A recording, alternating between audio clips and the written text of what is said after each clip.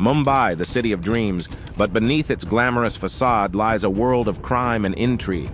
Today, we delve into the gripping true story of a man who became a legend in the Mumbai underworld, Chhota Rajan.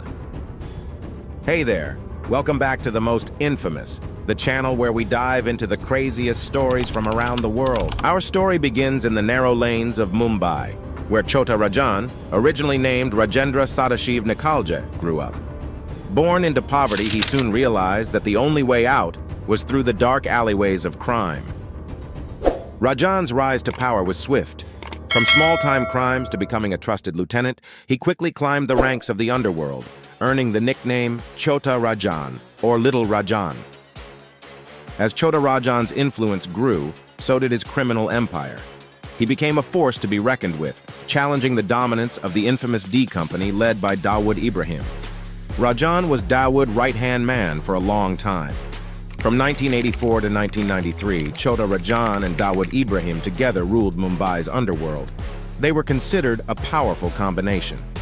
In 1993, after the serial blasts of Mumbai, their friendship broke, and there was a split between Dawood and Rajan.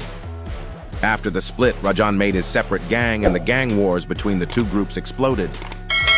The Mumbai underworld was divided, and a deadly rivalry ensued. It was a battle for supremacy, with the city caught in the crossfire. Noticing Rajan's growing popularity, Dawood created a plan to kill him. He sent a man named Chhota Shakeel to assassinate him while Rajan was attending a party in a hotel in Bangkok, Thailand. However, before Shakeel could reach the venue, Rajan got the information and ran away from there to save his life. In retaliation, Chhota Rajan shot dead two of Dawood's associates, Vinod and Sunil Soans, in Mumbai in 2001. Two years later, he killed Sharad, who was the chief finance manager and money laundering agent of Dawood Ibrahim, at the India Club in Dubai. Rajan was prosecuted in 2015 for 70 counts of murder for illegally importing and exporting drugs followed by extortion. It is reported that Rajan escaped prison and headed towards a country in the Gulf.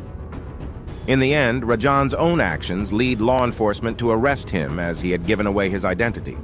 He was deported to India after being captured by the Indonesian police. He continues to remain in prison, and a follow-up report stated that Dawood Ibrahim has made another attempt on Rajan's life. As we reflect on the tale of Chhota Rajan, we are reminded that the underbelly of a city can harbor stories that are both fascinating and chilling. Join us next time as we uncover more untold stories from around the world. If you enjoyed this episode, don't forget to like, share, and subscribe. Until then, stay curious, stay safe.